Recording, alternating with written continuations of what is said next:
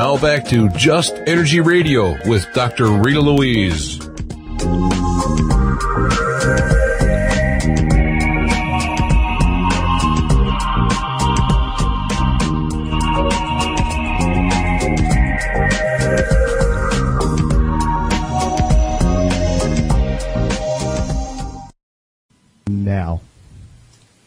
Hello and welcome back to Just Energy Radio. I'm your host, Dr. Rita Louise, and thank you all for staying tuned to the second hour of the show. Just Energy Radio is brought to you by SoulHealer.com, where you can find out about all the products and services I offer, including medical intuition evaluations, energy medicine sessions, and psychic readings. So check it out. Give me a call. Schedule a session. It's always good.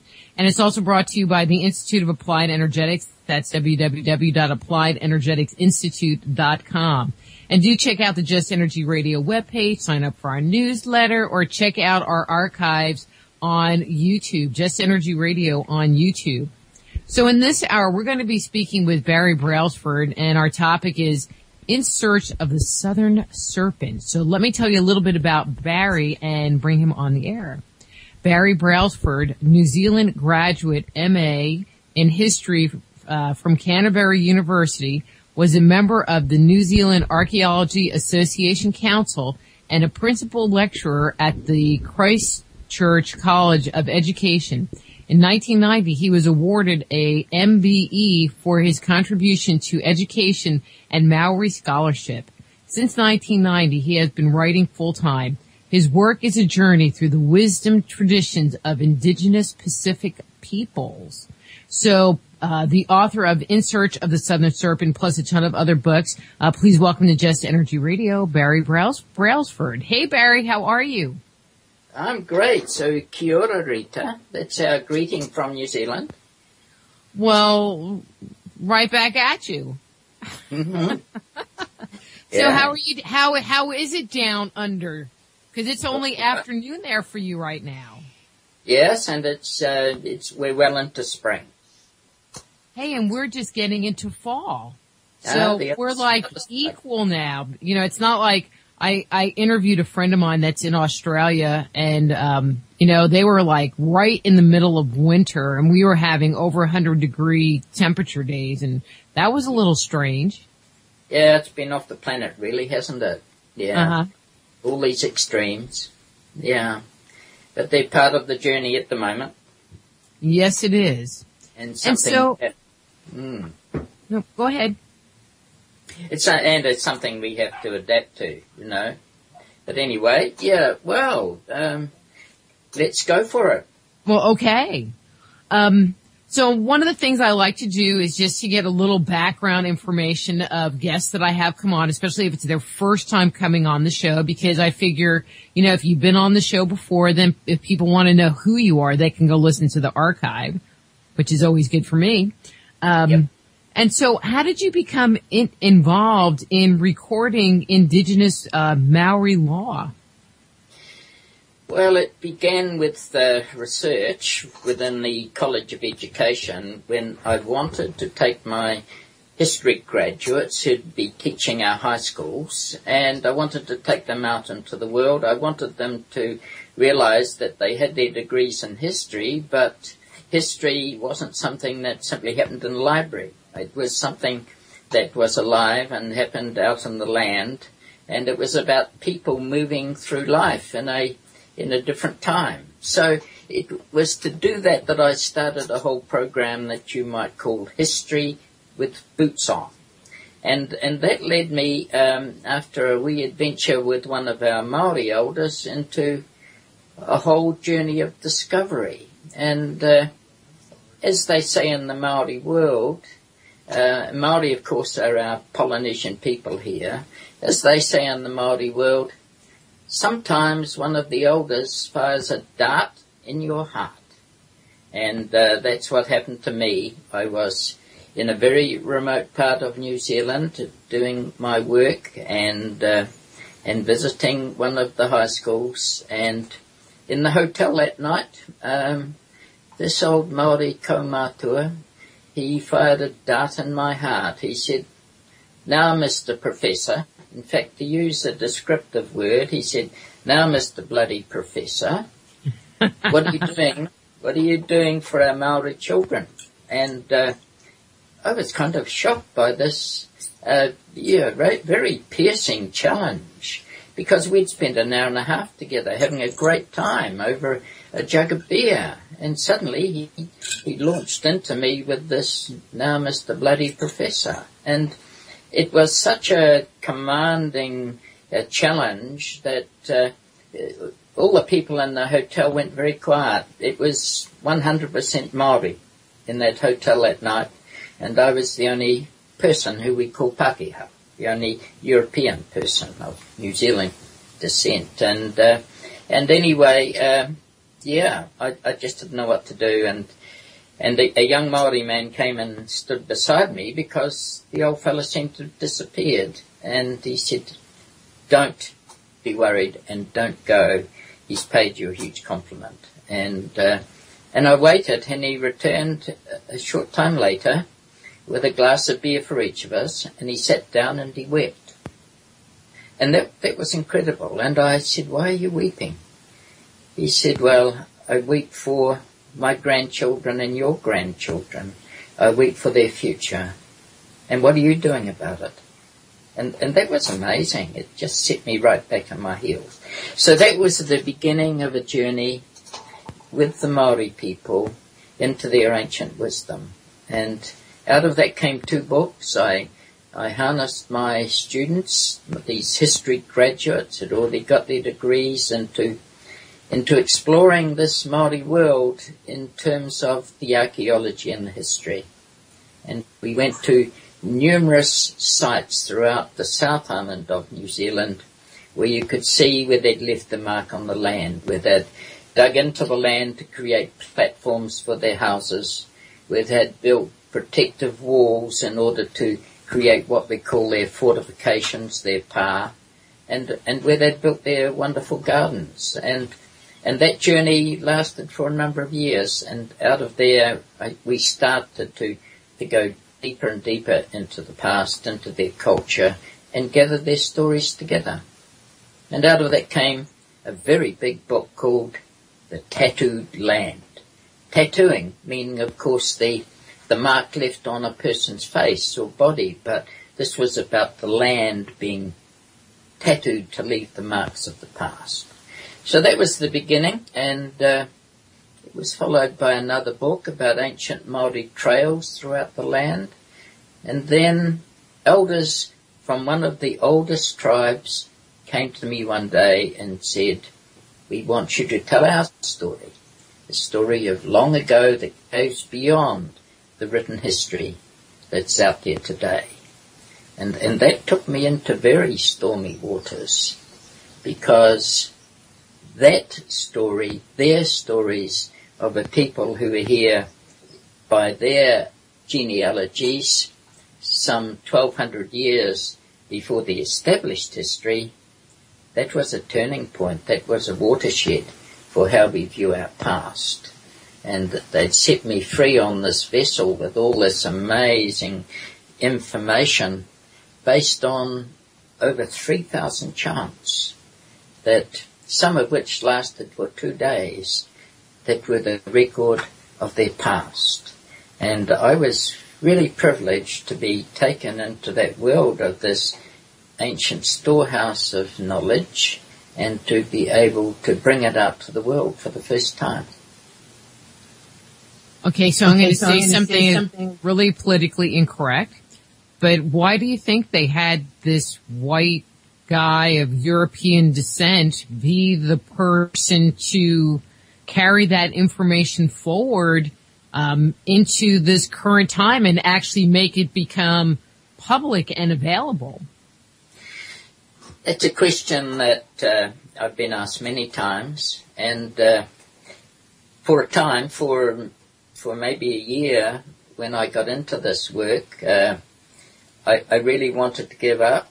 Um, there were times when they asked me to do things that that were a huge challenge. For instance, they asked me initially to lead a party right across the South Island, which was a nine-day journey walking through this ancient trail, to actually carry some sacred stone so they could actually open the way to the old knowledge. It was a very different kind of way of life for me at this time. A whole other world view was being placed before me, and uh, and they started to teach me the protocols for for making this journey and lifting what they call the tapu, uh, or for some people it would call tapu, that had been placed on this ancient trail because uh, 150 years ago, European miners walked that trail of peace and the trail of the sacred stone.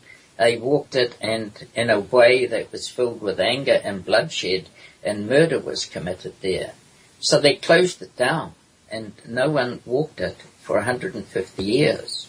And they said, we can't share this old knowledge until you've opened it up, until you've taken a party of 12 across that trail and lifted the tapu at seven sacred rocks. And this was a huge thing to ask of me. I was a mountain man. I mean, I was fit for that kind of thing.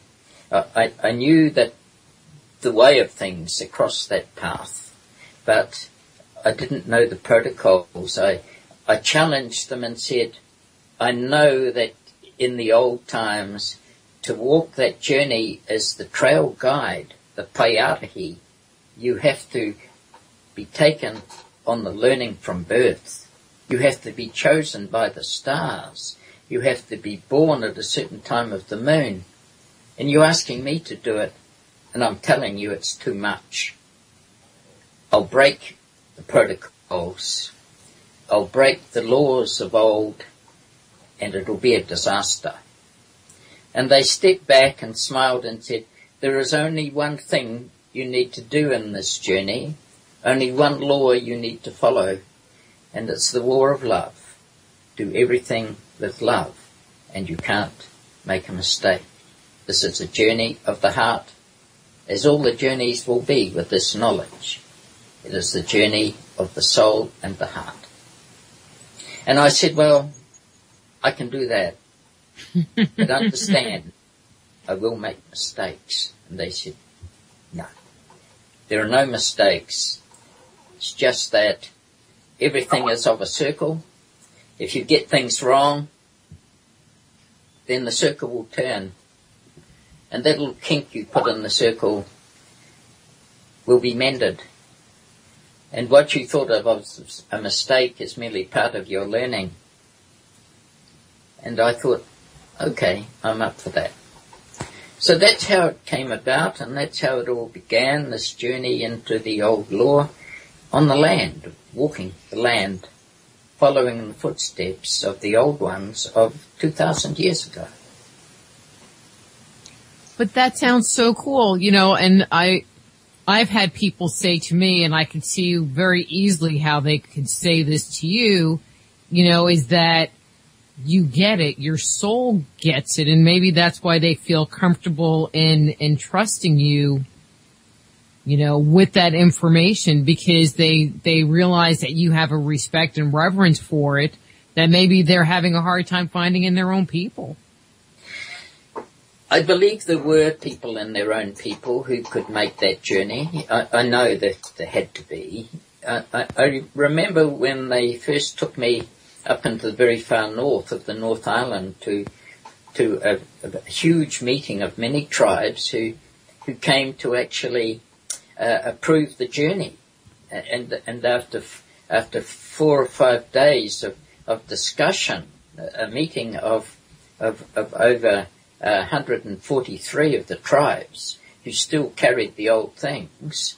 Um, yeah, th- that was why I was there, but but on the second day of that meeting, I was walking across the meeting house and one of the elders came up and he simply put his arms around me and he held me and he just said, the Wairua, the Wairua is there.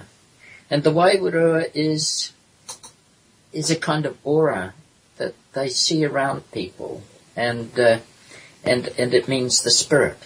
The spirit is there, the soul is there, the heart is there for this journey. I'd never met him before, and and when he said that, that was a great help for me. Uh, you know that that he recognized something in me that would help me to make this very challenging journey. But there's a whole other dimension to it for their own people. You see, I talk about 143 tribes gathering to give the okay for all of this knowledge to come out and and there there is a thing about knowledge that can create envy and jealousies and huge conflicts and these people they were of ancient lines of long ago and there's been a lot of change and a lot of fragmentation of of the tribes and their knowledge and a lot of loss of knowledge that was only held safe by certain within the tribes.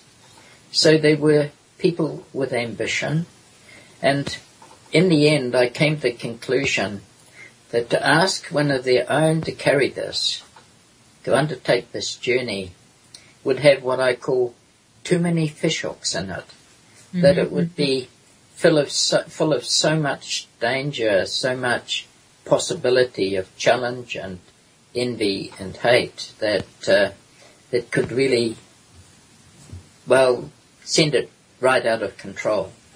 Could um, could sink the waka, as we call it, sink the vessel, sink the ship, that it would go nowhere. And uh, and and that's what I suppose the elders were saying to me in the end. They were saying, "You bring a whole other discipline to this journey.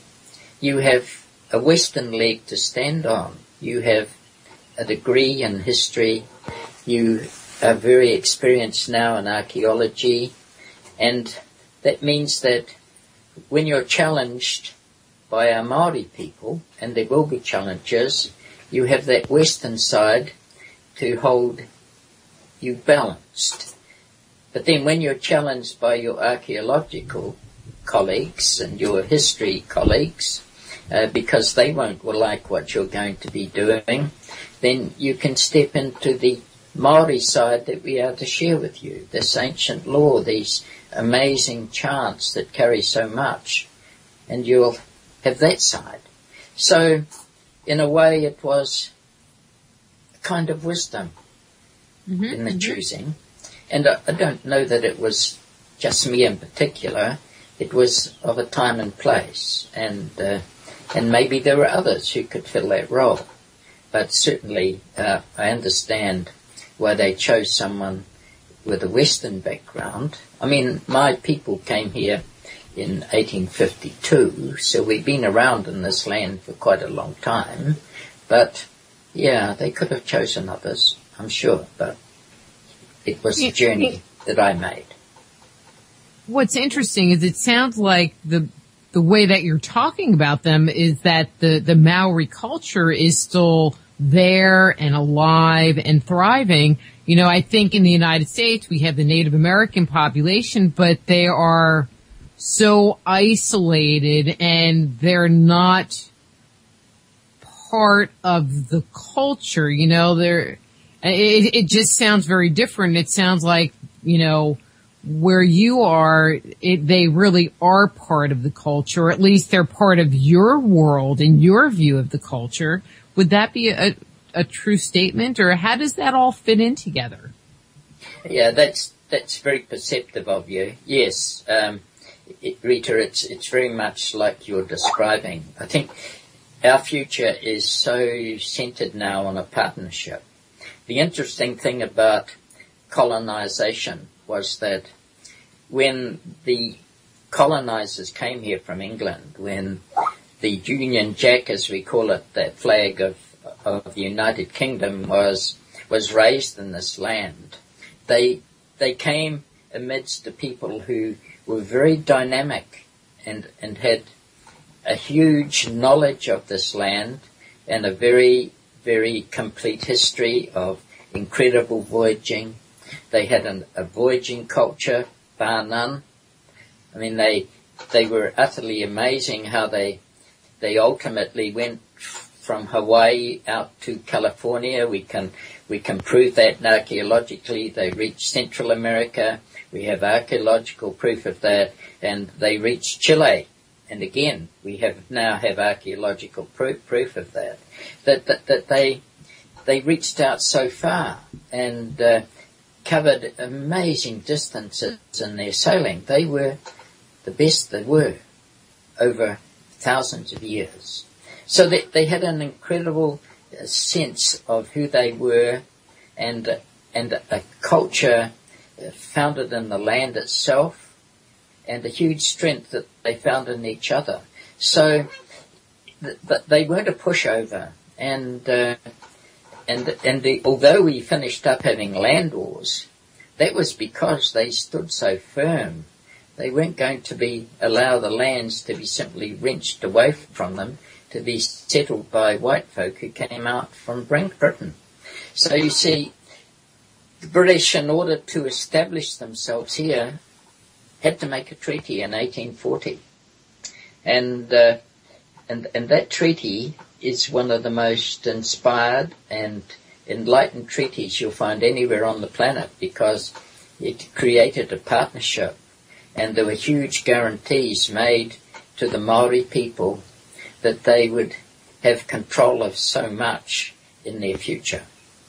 Now it doesn't mean that that wasn't attacked in later times when the Europeans created a parliament and ultimately brought in the in the regiments to try and and push themselves forward. But they, again, they were met uh, with huge resistance and and had eventually to acknowledge the the power that was there and uh, and and and work within that partnership that had been set in place in 1840.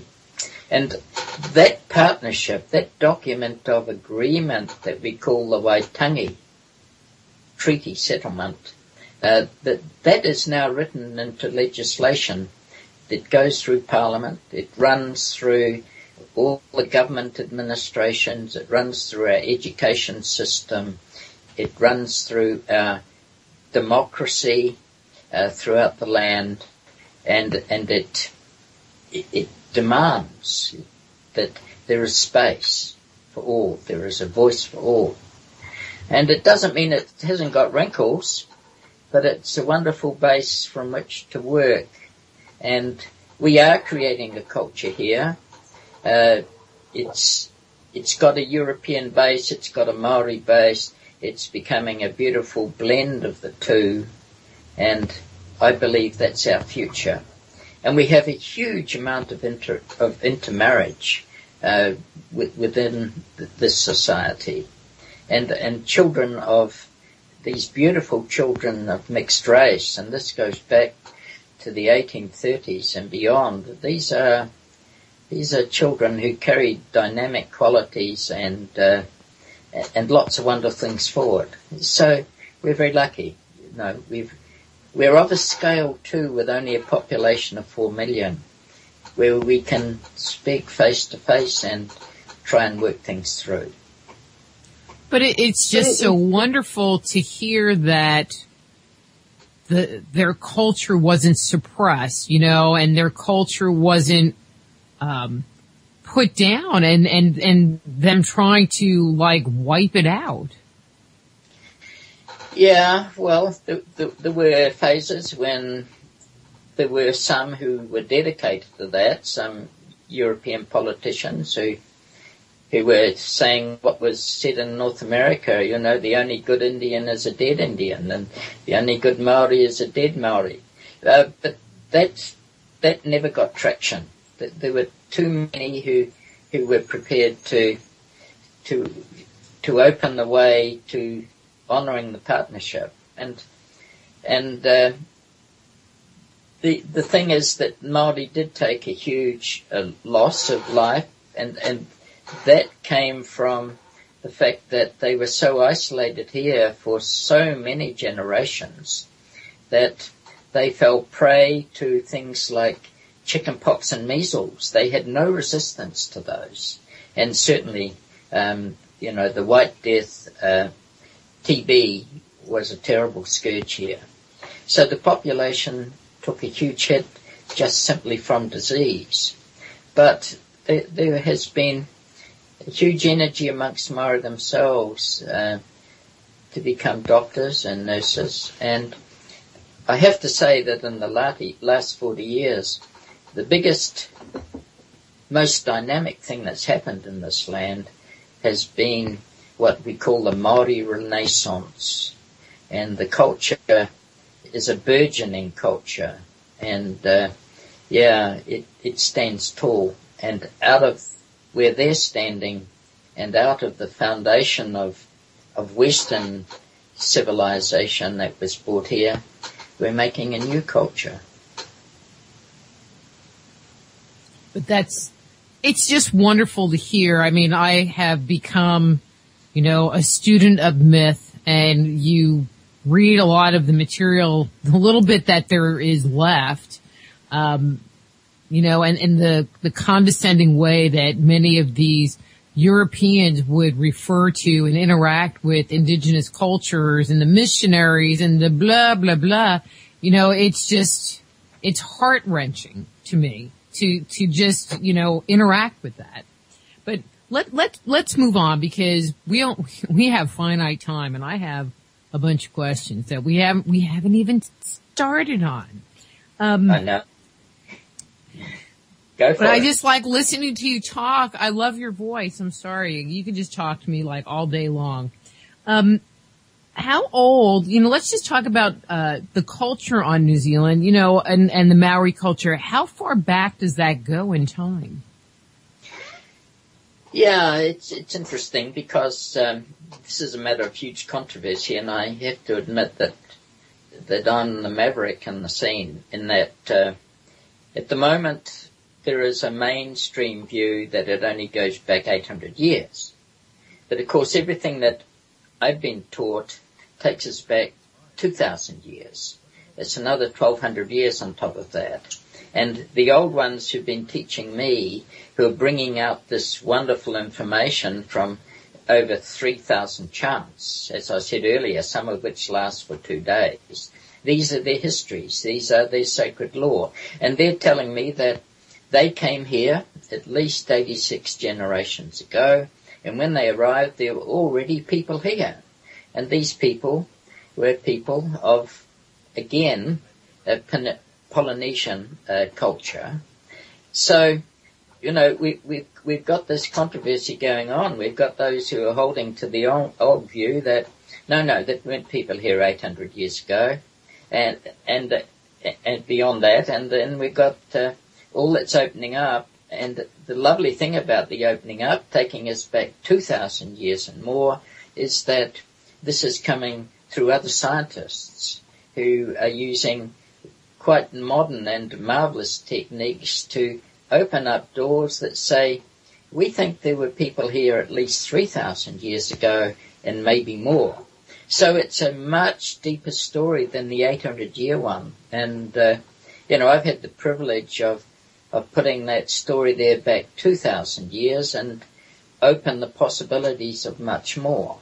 And it, it takes a long time to, to change the mainstream view. And I mean, that was so in America. I mean, the, the Clovis culture that was said to be the founding culture of North American culture only went back eleven and a half thousand years, but, but now it's opened up to 30,000 because when they went and redug those sites that go back 11,500 years, they found that a couple of meters beneath that, several yards beneath, there was a whole other culture. So things get ingrained and it's very hard to challenge them. So it's a challenging time, but exciting. Oh, I think it's very exciting, especially because our our Western worldview, and I'm being very specific with that, our Western worldview is starting to change and it, in my opinion, and I would like to hear your thought, is starting to be more reflective, um, you know, in alternative thought communities of indigenous wisdom. Yeah. And, and I think that's, that's wonderful for the future of the planet. You see, we've, uh, yeah, for for many centuries now, we've we've actually decided that we have the right to rape the planet, and and I use that word to exploit, and without regard for the future. Um, you know, and, and that process began a long time ago. It, it began, yeah, 1500 years ago and maybe more, uh, because we had this wonderful event, the rise of Christianity, uh, the, the, rise of that wonderful spirit, the Christ spirit of love and, and healing. But of course it all became kind of systematized, uh, uh, became an ism, and then we created a hierarchy where there was a church, and and uh, within that church, the uh, the organizing voice was the male voice, and uh, and Mary eventually got her place as someone who gave access to the hereafter. But of course, what the church did was ultimately take a very narrow view of God. I mean, the, the indigenous peoples, the, as they were called, the pagan peoples of the planet, they saw the magic of creation in everything. They saw spirit in everything. They saw spirit in stone and the rainbow and, and the rivers and the waters. They saw spirit in the trees and the life of the trees. They saw spirit in everything around them and the flight of the birds and their song. So their view of creation was embraced, embraced everything. And, and they honored those things. So you couldn't go in this land in the Polynesian times, you couldn't simply go and cut down a tree. You needed it, but you just didn't go and cut it down. You had to ask for the cutting. And you had to do it in a in a way that honoured the tree and and and honoured the forest around the tree and and took a branch and used it like the blade of a stone axe to to brush across the tree and say, "You are going to fall," and I'm telling the whole forest there will be a death here, but when you fall, your timbers will be used to help our people, and you will be used for houses and keep us warm. You'll be used for fires to keep us warm through the winter times and the cold. You'll be used for vessels to help us fish. You'll be used for vessels that allow us, allow us to cross the oceans to different places. So there was an honouring that. There was honouring in everything. When you caught the first fish, you had to let it go. You gave it back to the ocean. You said, I honour you. So they honored the spirit of everything. They didn't just take and take regardless. And, the, and the, their whole systems, when they made change, they had to honor the fact that they had to look forward seven generations to see what that would mean. It was a was a, a wide view of life, and they honored the stars and and the turning of the stars and used them for navigation. Uh, there was an honouring in so much, but when we took spirit out of everything, when all spirit was centered on God, the one God, who was supreme in everything, then God was taken out of all these things. The spirit of life and energy, all this magic that is around us went into a church, went into a space, into into something that uh, divorced people from the land itself, the spirit of the land, and brought in this allowance, allowed people to ravage the land and use and abuse to their own advantage. And those who followed these what we call the pagan ways who honoured spirit and things. I mean, ultimately, as we know, there were there were literally hundreds of thousands were burnt at the stake. Women, in particular, for honouring the power of healing of the plants and and the signs they read in the land around them and honoring the spirit that they did in such a powerful way. So, you know, the indigenous peoples have a wisdom that goes deep into the land and helps us once again to find a sustainability, to live in partnership with everything around us, to allow space for spirit to move and things to grow and serve. You know, and that's yeah. just a whole different mental philosophy than we see in today's, you know, and I just like to say Western culture. Although you hear a number of very similar and parallel concepts that come out of like Native American culture. So this is my next question. It's, anyway, um, I believe that um, our ancestors, you know, one that there is a core piece of information that seems to be unified around the world, you know, kind of going in line with some of what you were talking about. You know, I feel it's just one little piece of it. Um, you know, but that they had a much better grasp on the physical world as well as the, and I'm going to say the etheric world, the unseen world. Um, in your study of the Maori, what conclusions have you reached regarding their understanding of what we're just rediscovering in physics and quantum physics? Well, I think I think their understanding of of, um, of, of the way of things is truly startling. And you know, just to pick up on the first point, I believe that there are universal truths that I'll find in throughout the Pacific, and I spend a lot of time with North American people, the Native American people. Um, I find the same truths. I, I, I, they are part of what works in life. They're part of of being, yeah, being wrapped up in everything around you, understanding, I mean, they ha- they understand the kinship of all, that it's all connected, it's related. It doesn't matter whether you're talking about a spider or or a horse you're riding across the Great Plains. Um, there's a kinship of all life, and uh, and for me and for people here, it, it, extends to the trees and the fish and the birds and everything.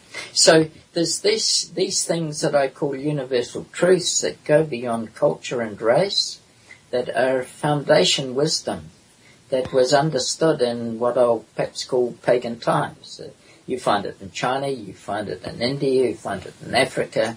You know, I found it all around the planet. So, so there's, there's that aspect of things. I, I think that's important to understand that that there is a found, there are foundation truths that we can go back to. And I believe what the indigenous peoples have done is that through great sacrifice at times, um, they, have managed to hold on to the sacred, if you will, uh, so that the sacred is, is still attainable today. We can still bring it into our time. You know, this wisdom of the sacred. But, but you talk about quantum physics. I mean, I've become totally wrapped up in quantum physics and string theory and all the rest of it. Because when I go back into the cosmologies of Polynesia, I find remarkable things. You know, when I when I go into the chant for the creation story, it's incredible because they say in the beginning was the nothingness, the great void, and into the nothingness came the great sound, and out of the great sound came life and all that is. And they move on from that and they say, and the great suns were born, the great fires of the heaven, and the planets came. You know, that there was the firmament. The um, they talk about the time when on the earth here that the earth and the sky were one. There was no sun. Now when you go back into the whole physics of things, the astrophysics, of course there were so many gases in the atmosphere, as our planet cooled, the sun couldn't get through. So the earth and sky were one. And then they go on from that, you know, and they say stone is the first ancestor of all life. And when we go into the, the biology of things and the creation of life, we go back to the primal soup, but we go back to stone, we go back to the crust of the earth, which held within it the building blocks of life. You know, and it's all there, it's all in the charts, and I'm saying, wow, how did they understand this? How did they come to such amazing, visionary, perceptive conclusions about the sequence of things? Credible. So do, where do you think they maybe came up with this information? I mean, that's something that I battle with. Um, you know, there's a lot of talk of pre-existing cultures. You know, I mean, we just had um, Jack Churchward on in the in the previous hour talking about the lost continent of Mu. You know, and about the advanced uh, culture that was on that continent. I mean, do you think there was a pre-existing culture that had access, you know, and, and the science knowledge to create this base and we just, you know, in our cosmologies today have a remnant of it? There are times when I, I really think that, you know, I, I, I, I wonder very deeply about exactly what you're saying. Um, I have been given a story that I haven't written. Um, it's Ooh, a, it's a secret story? Not really. It's something oh, that. Man, I like secret stories. Well, it is. It is pretty secret story. Okay, good, good, good, good. The thing about the stories is that they always have a number of levels, and if you read it at one level, and that's how it was given to me first off, it's just a simple story to tell the grandchildren around the fire at night, you know. But if you are then introduced through the elders to the deeper levels, suddenly you see that it's actually telling you about some kind of vehicle coming from the stars and the great, they call it the great flaming waka. A waka being a, a, a, a ship, but this is a ship from the stars. And, and, and when they came, uh, they stayed and, and there were five brothers and each of them had particular wonderful things to offer the people. And they go into each of these, um, which are the foundations of the knowledge, the music, and uh, the understanding of the stars, and all kinds of yeah foundation knowledge upon which a culture could be built. And then they describe, after all of this knowledge has been passed on, how this fiery waka takes to the skies and rather tragically, it destructs. That something goes wrong, and uh, and it crashes into the ocean, and uh, and and it's the end of that story. But something really powerful was left behind. So, you know, I hear that story, and uh, you get it at several levels, and, and that's the final level they were taking me to on it, and and it, and uh, it's just like a wee fairy story when you hear it first off, but when you're taking deeper and deeper into it, you begin to say, well, this sounds like a spacecraft, and this sounds like some beings who something have something amazing to offer to establish the, the basis of of many cultures. Well, and that's that's one of my soapboxes these days is that story is repeated over and over and over and over. I mean, the details are different, but all around the world. Mm, yeah.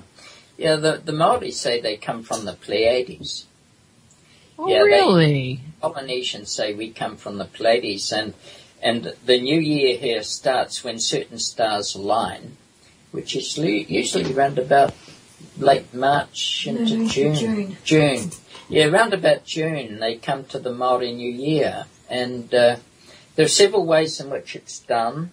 You know, I've written of how the Waitaha, these early people who I wrote so much about, who were here from 2,000 years ago, and, and they had their, their wise starman, their stargazer, on a particular hill in the South Island, or it's quite high, and uh, and and he was there in June with his apprentice, and and they had to sleep out for many nights until they they saw a sunrise, and at the same time there was a morning star, they called it, there at the same time as the sun rising, and it was still evident in the sky until the light from the sun obliterated it, you know, and the star was no longer seen. But it was very precise. The star had to be able to be seen as the sun rose for 15 heartbeats. And when it did, that was the beginning of the new year. And then that word was sent out from there in, in various ways. And I won't go into that, but uh, it was sent out throughout the land. We now have the beginning of the new year. So it's it's not an absolute set day. It's all set by the stars, by by that uh, coincidence of the the sun rising and this star still appearing and and being there in view for 15 heartbeats. But then there are other ways in which that takes place, but they they all come together. But different parts of the land, there's different ways of saying this is the new year. that it's all decided by the stars.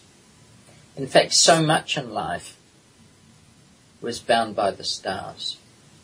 Yeah. But that's really cool.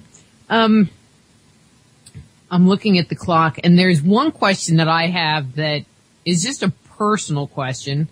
Um, yeah. but it's, and you kind of a little mentioned this earlier. Um, but it's about the tr- tradition of tattooing.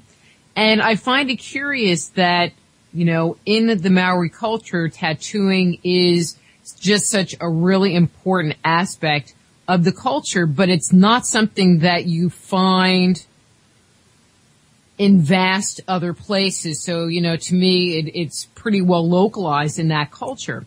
Um, why is it so important or is there significance in the patterns or the ritual of tattooing that makes it so compelling for them?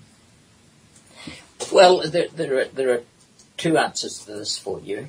Yeah. Um, yeah, I see we've got about 10 minutes and, uh, and I'll, I'll just take a wee bit of time over it for you.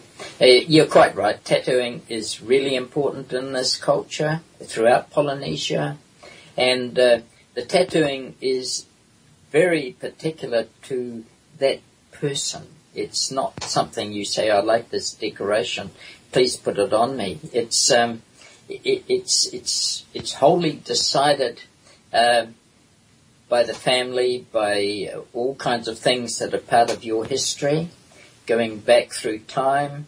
It's decided by who your tribe is, and and and and their relationship with the world around them. Uh, it's decided by your mana, that is your spiritual essence. All kinds of things come into it, and and it's a very special thing to to go that path, to actually decide to bring all of those things into visible form. So, yeah, it has a powerful place, and and it means a lot, and it's coming back. Uh, very, very much in this huge time of Maori Renaissance. It's uh, it's a way of uh, you know for for people to stand tall in the truth of who they are. But there's a whole other dimension to it. Um, you see, in the in the deserts, uh, I think it's called. I'm sure it's called the Gobi Desert um, that borders China. They've discovered, the Chinese discovered some 20 years ago, uh, some amazing burials that had uh, taken place in the desert in a very, very dry climate and and the the 18 or 20 odd uh, mummies they found there, uh, their clothing was still intact, and their they were totally mummified, and uh, most of them were tattooed. And uh, I've seen pictures of these tattoos. It's very interesting. The Chinese have done amazing things in terms of that particular archaeology.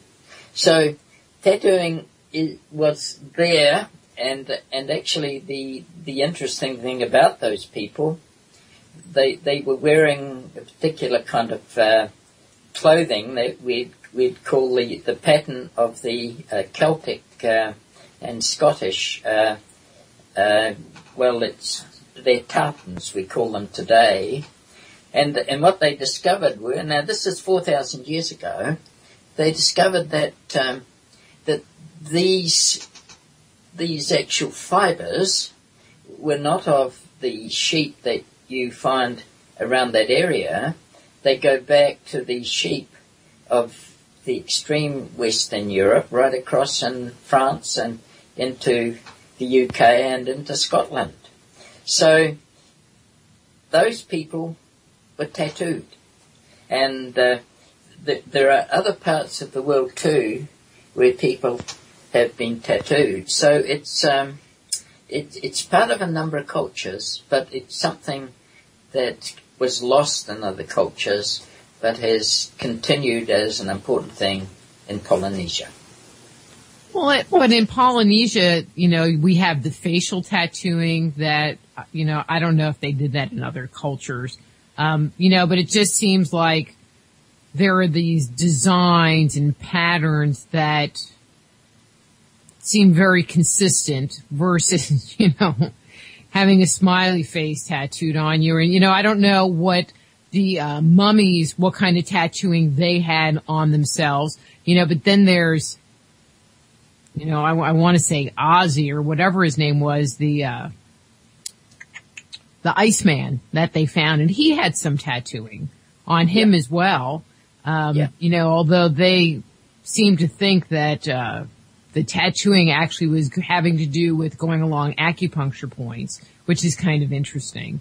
Um, yeah, yeah. I, I, I, think I think today when tattoos are done in prisons by inmates, and tattoos are, you know, the smiley faces you should call them, or the the tattoo of uh, well defiance. Um, you know, they're of a whole other thing. I I believe the tattoos in the indigenous peoples and the ancient cultures had amazing meaning.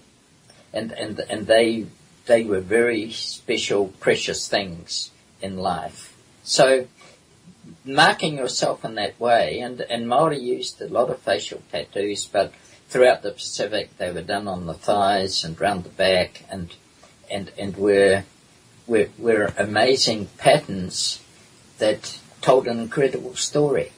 And, and I think tattooing is part of that, part of a wonderful story about the people themselves, uh, particular tribes, and about the individuals within that tribe.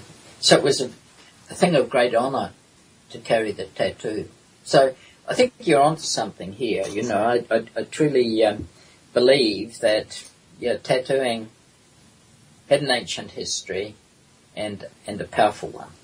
Mm-hmm. Barry, I am looking at the clock and we are just about out of time. And you're delightful and I still could like listen to you for hours. Anyway.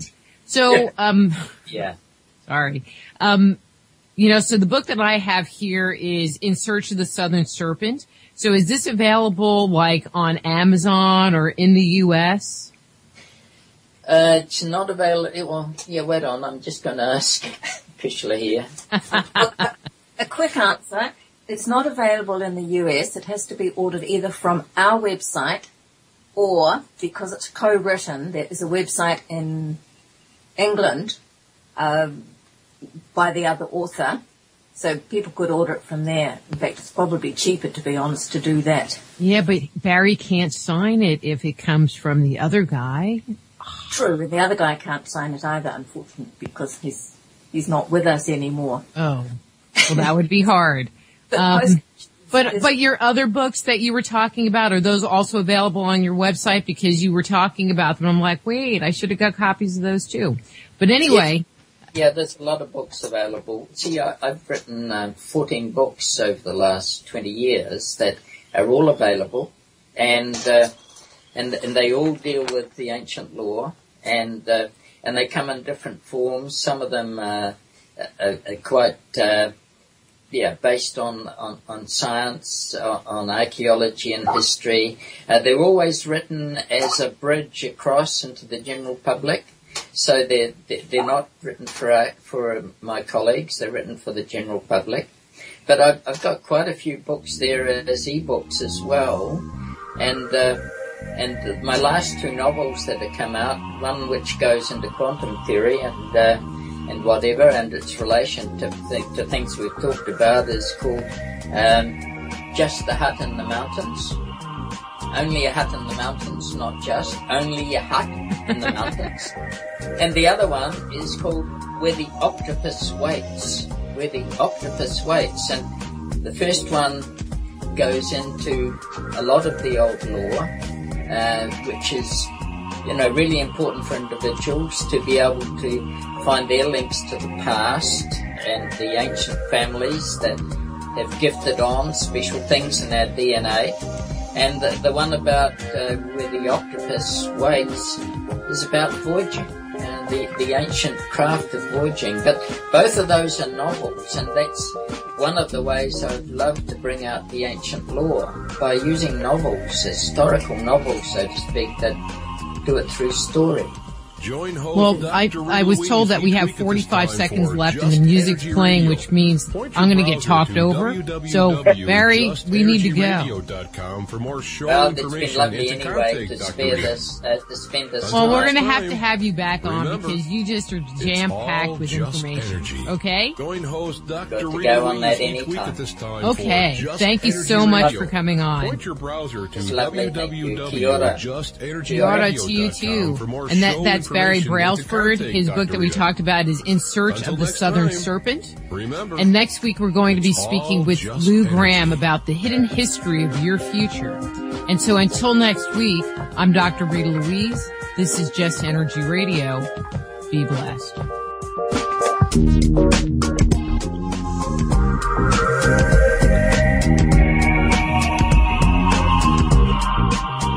Join host Dr. Rita Louise each week at this time for Just Energy Radio. Point your browser to www.justenergyradio.com for more show information and to contact Dr. Rita. Until next time, remember, it's all just energy.